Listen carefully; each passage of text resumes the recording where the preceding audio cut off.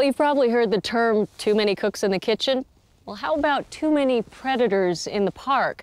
That may be the situation in Yellowstone where wolves and grizzly bears are competing for food. And that would be bad news for their communal prey, the elk. Now we're heading out with some national park rangers there who are trying to maintain a very delicate balance in a volatile environment.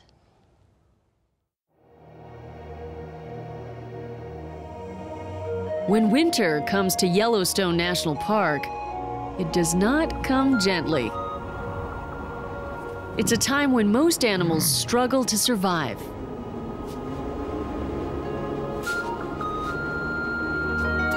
Wolves here were once poisoned, hunted, and trapped to extinction. But in 1995, authorities imported wolves from the Canadian wilderness and reintroduced them into the park.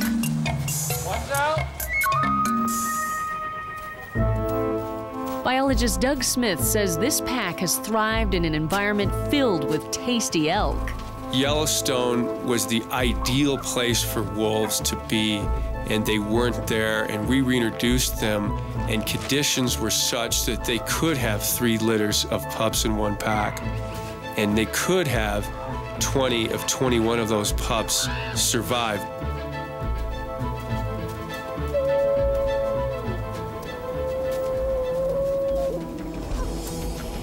There are a lot of mouths to feed.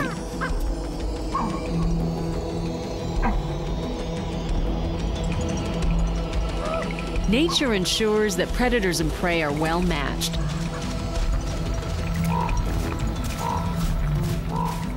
The herd can run hard and fast.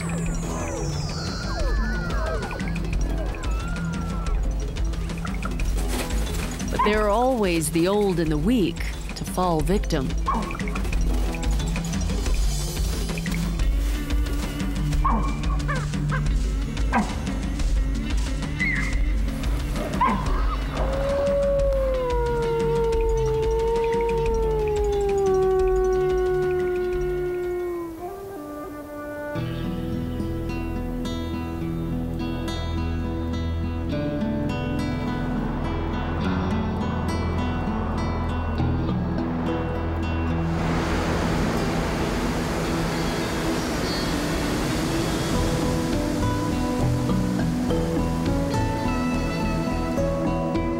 Winter slowly gives way to spring.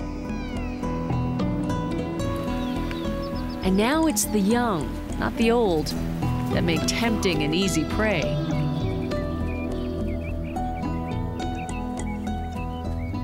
Wolves are not the only predators in the park. Grizzly bears, too, have to feed their young.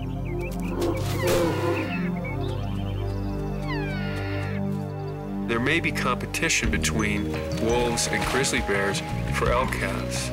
But it's interesting because one day in Lamar Valley this spring, uh, our team observed two elk calves killed by wolves, two killed by grizzly bears, and two killed by coyotes.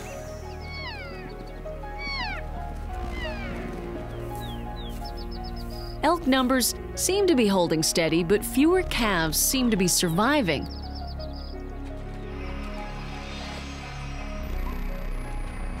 Suggesting there could be long term consequences.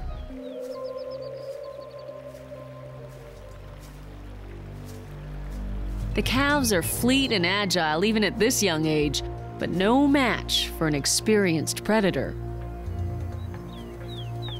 In this hardscrabble world, no youngster is completely safe. A mother grizzly and her cub emerge in early spring from their winter den to be greeted by snow and something more ominous wolves. There's no love lost between Yellowstone's top predators. Wolves have been known to kill bear cubs and grizzlies to kill wolf pups.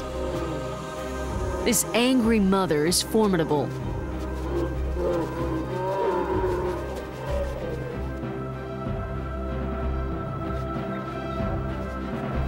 Finally, the wolves lose interest in bear baiting, and the mother and cub go their own way, unharmed.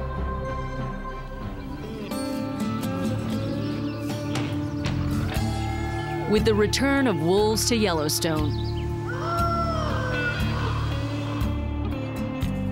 The park has been transformed, and the competition between predators is now fiercer than ever.